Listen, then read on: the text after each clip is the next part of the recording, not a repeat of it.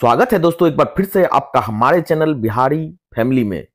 साथियों, मैं आज फिर से स्वक्षमता परीक्षा की दृष्टि से 25 महत्वपूर्ण प्रश्नों का सेट नंबर 10 लेकर आपके बीच हाजिर हूँ। तो उससे पहले यदि आपने अभी तक हमारे चैनल को सब्सक्राइब नहीं किया है, चैनल पर नए हैं तो चैनल को सब्सक्राइब कर ले और बेल आइकन को दबा दे ताकि वीडियो का नोटिफिकेशन आपको समय प्राप्त हो जाए।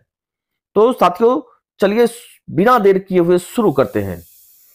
पहला क्वेश्चन है, इतिहास को कितने कालों में विभक्त किया गया है? इतिहास को कितने कालों में विभक्त किया गया है? तो इसका सही जवाब हो जाएगा, तीन कालों में विभक्त किया गया है।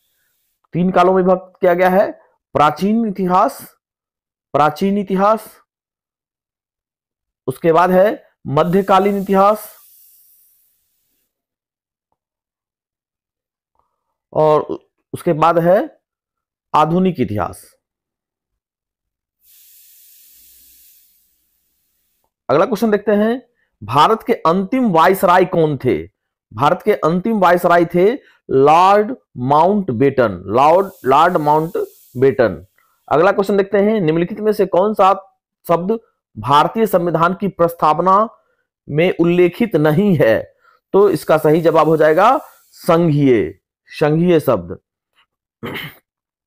अगला क्वेश्चन है, निम्नलिखित में से भारत के पूर्वी तट पर स्थित सबसे बड़ी लेगून झील कौन सी है? पुलिकट, चिलिका, कुलेरू, किलीवेली। तो सबसे बड़ी लेगून झील जो है, वह है चिलिका झील। अगला क्वेश्चन देखते हैं, भारतीय संसद की कार्यवाही में शून्य काल का अर्थ है।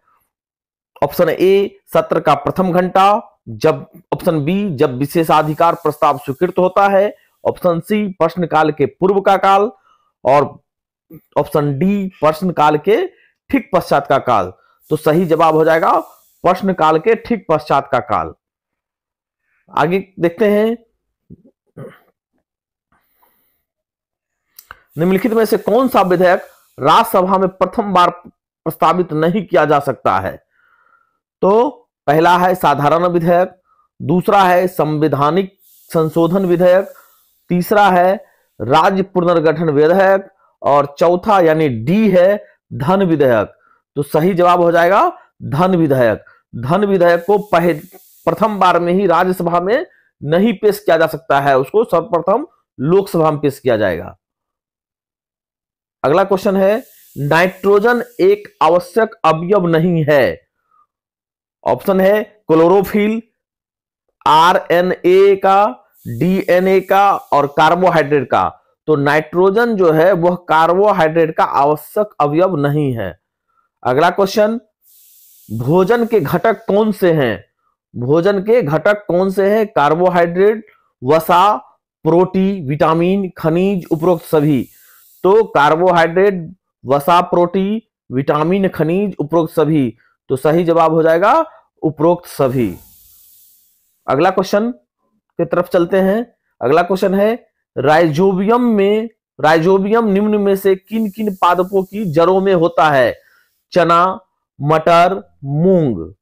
चना, मटर, मूंग, उपरोक्त सभी। तो सही जवाब हो जाएगा उपरोक्त सभी। अगला क्वेश्चन देखते हैं, पौधे अपना भोजन किस द्वारा बनाते हैं? पतियों द्वारा, टहनियों द्वारा जड़ों द्वारा, फूलों द्वारा। तो इसका सही जवाब हो जाएगा पतियों द्वारा। पौधे जो है अपना भोजन जो है वह पतियों द्वारा बनाते हैं। अगला क्वेश्चन है, सजीवों के शरीर की सूक्ष्म इकाइयों को क्या कहते हैं? सूक्ष्म इकाई, शरीर की सूक्ष्म इकाई, उत्तक, कोशिका, अंग अंग प्रणाली। तो सही जवाब हो जाएगा कोशिका। सजीवों के शरीर के सूक्ष्म इकाइयों को कोशिका कहते हैं।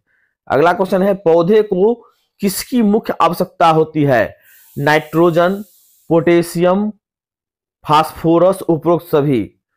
तो पौधे को जो है, इन सबों की ज़रूरत होती है। अगला क्वेश्चन है कार्बोहाइड्रेट में क्या नहीं पाया जाता है? कार्बोहाइड्रेट में क्या नहीं पाया जाता है? ऑप्शन है कार्बन हाइड्रोजन ऑक्सीजन नाइट्रोजन सही जवाब हो जाएगा नाइट्रोजन। नाइट्रोजन कार्बोहाइड्रेट में नहीं पाया जाता है। अगला क्वेश्चन है, पोषक पदार्थ हमारे लिए क्यों आवश्यक हैं? ऑप्शन है, शारीरिक संरचना करने के लिए, वृद्धि व ऊर्जा प्रदान करने के लिए, क्षतिग्रस्त भागों के रखरखाव के लिए, उपरोक्त सभी। तो सही जवाब हो जाएगा, उपरोक्त सभी।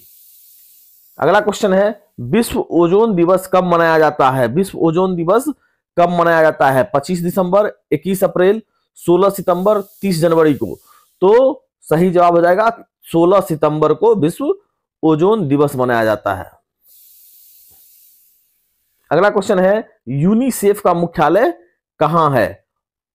ऑप्शन देखेंगे जेनेवा न्यूयॉर्क पेरिस रोम तो यूनिसेफ का मुख्यालय न्यूयॉर्क है। आगे देखते हैं हाइड्रोक्लोरिक एसिड किस अंग में श्रावित होता है? आत्र यकृत, अमाशय, अग्नाशय। तो हाइड्रोक्लोरिक एसिड जो है, वह अमाशय में श्रावित होता है। अगला क्वेश्चन है स्कर्वी रोग इस विटामिन की न्यूनता से होती है, यानी न्यूनता यानी कमी से होती है। Vitamin A vitamin B vitamin D vitamin C तो सही जवाब हो जाएगा विटामिन डी अगला क्वेश्चन है, सिंधु सभ्यता से प्राप्त मुहरों में कौन से वृक्ष की छाप मिलती है? ऑप्शन है आम, पीपल, पारिजात साल। तो सही जवाब हो जाएगा पीपल। अगला क्वेश्चन देखते हैं, किसकी प्रशासनीय प्रणाली की अद्वितीय विशेषता ग्राम स्वायत्तता का विकास थी? तो ऑप्शन है चेर, चोल पांड्य पल्लव।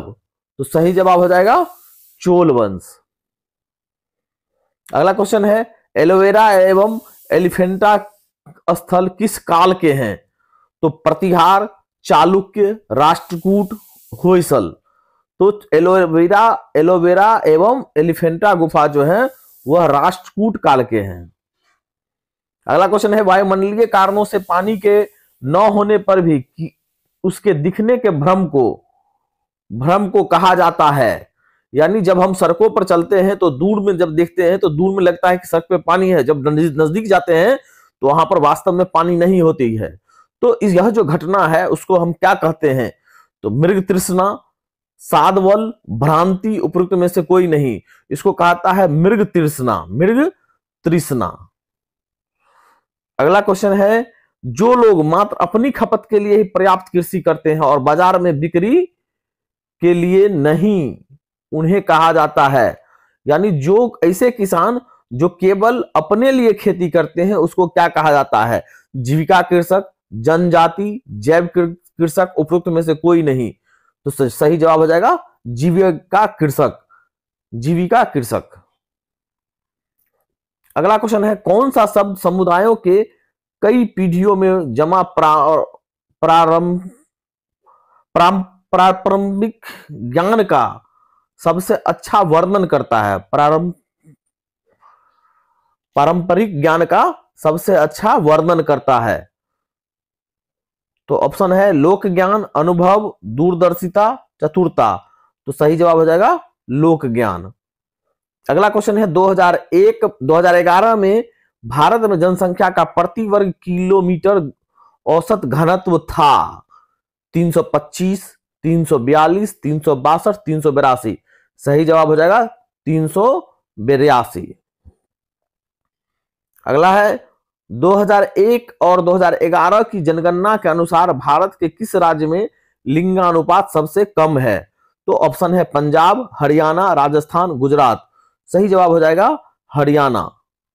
तो इसके साथ ही 25 महत्वपूर्ण क्वेश्चनों का यह सेट समाप्त हुआ। यह वीडियो आपको कैसा लगा?